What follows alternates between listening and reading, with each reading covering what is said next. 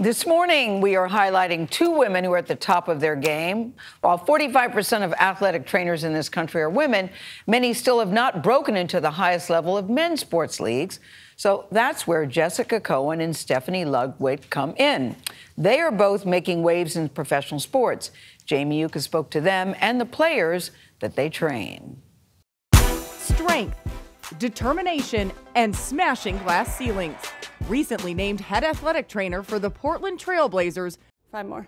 Jessica Cohen is the only female to currently hold that title in the NBA. You said five more, I did seven more, bro. No. when you were a little girl, this was not the job of your dreams. I really thought I was going to be the first woman president and give some of these guys a run for their money in politics. You still could be. I still could be. A few miles away. So at the bottom on this one? Stephanie Ludwig was just promoted to the same position First, get it going in place. For Major League Soccer's Portland Timbers, the first in that team's history. I'm super proud of myself, and it needs to continue to happen, right? Especially women in leadership positions. This is more important than me, so um, I wear that, you know, with pride. Both Midwesterners in their early 30s, these women are embracing their roles. Good. Any pain? In a predominantly male profession. Much of Cohen's first season at the helm was spent helping players rebound from injury. She's been helping me a lot. She's rehabbing my knee, um, you know, trying to strengthen my knee up and uh, just take care of me so I can get back on the court. We definitely been uh, keeping her busy, so she gonna earn that paycheck for sure. In this world, they cannot do their job if they're not at 100%.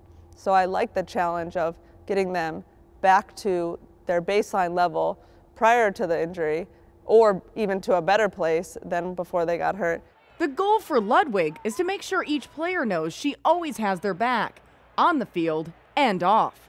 Sometimes the athletic training room, especially, um, is some of the most vulnerable space that an athlete can be in. Um, whether it's they're actually injured or they're coming in and they're like, man, I'm worried that I can't perform my job. The training is the most important, and the game you just take it lightly. She's always here to, to help us. Do you think she's improved your game? Oh, definitely. I have you on the massage list today. These ladies are tough and tenacious. Pull hard. But players appreciate their slightly warmer approach. There you go. Praise life that I could talk to Jessica about anything, you know, even off the court, mentally. Um, you know, that's what she's here for. You know, she's not just a trainer. A hundred percent. There should be more, more women in the sports industry. I think she's very emotionally connected, which is important.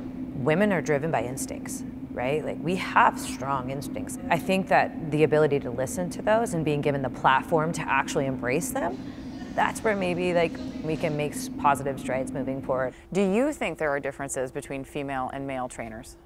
I don't think so. I think everyone naturally gets along with certain people in different ways. Not one time did anyone say, how are you going to do this job because you're a girl? Do you feel like you've kind of proven yourself? Yeah, last spot. Regardless of gender, regardless of background, I just knew working at this level of sports would be hard to get to, and I just was going to do it no matter what. Both Cohen and Ludwig see themselves as more than just leaders in their field. They are also motivators to their teams. So up on the wall it says, work every day the way you want to be remembered. I had a feeling you're going to ask that question. How do you want to be remembered? I want to be remembered as, as someone who works really hard and comes to work every single day to not only do my best, but maximize someone else's best. Despite their amazing drive and accomplishments, there is one more hurdle for these two powerhouse Portland women to conquer. You've never met Stephanie. I have not. She wants to meet you. We just ended, they just started. Hopefully there's time where we can meet. I'm super excited for her and also want to congratulate her as well. I haven't had the opportunity to, to say it in person yet, but you know, it's, it's amazing to be in the same city with somebody who is also a trailblazer and is pushing things forward. Do you feel that Portland sports fans should be really proud? Oh, I, I think they are. I, I really do think they are. For CBS Mornings, Jamie Yuccas, Portland, Oregon.